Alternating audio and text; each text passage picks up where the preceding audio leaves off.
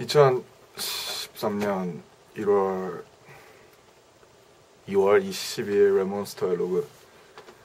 아 설날이 완전히 끝났다.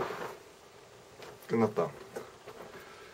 되게 많은 걸 느꼈고 이제 성인이라고 친구들이랑 술도 한잔하고 해서 되게 여러 가지를 느꼈는데 그냥 친구는 15년 지기 13년 지기 친구였는데 내가 느꼈던 건 이제 친구는 진짜 진짜 친구는 잘 돼도 친구 못 돼도 친구인 것 같고